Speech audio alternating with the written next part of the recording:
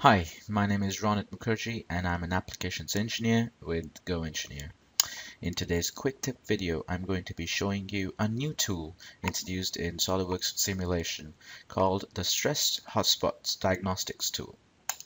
So, um, over here we've got a pliers assembly and uh, we've already run the study. As you can see, we've got the results folder showing.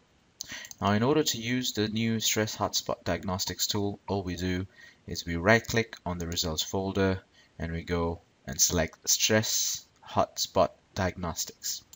Once you select this option, it opens up the feature on the left hand side and uh, um, the this tool is basically identifying the regions where we've got high stress areas between adjacent elements.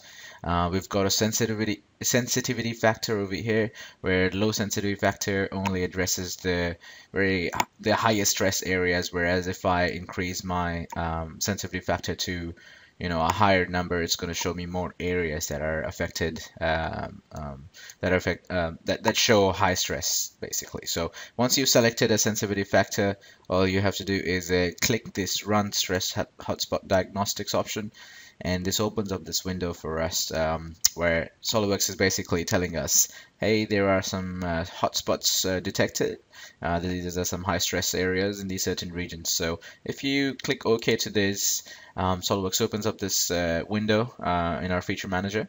And over here I'm going to be selecting isolate stress hotspots. So once I select this option SOLIDWORKS uh, I mean all the coloring scheme sort of goes away. And if I zoom in you'll notice these um, edges have uh, a darker shade. So this is where SOLIDWORKS simulation is telling me, hey, uh, you got to be careful. Um, these areas are some high stress areas in your model. Similarly, on the other plier arm, we've got some um, uh, other um, high stress areas here as well, and as well as on the pin. So this sort of gives me a good idea in understanding, you know, where uh, where I'm going to be seeing the higher stresses and what do I need to do with my design, how I need to change my design to be addressing those issues. So in these edges, I would probably add a small fillet so you know I can uh, get rid of this uh, um, uh, get rid of this edge and basically smoothen this out. So um, uh, I, I, basically get a surface area over here, and when you have force over area, you get a you get a value. Whereas um, uh, if you just have a,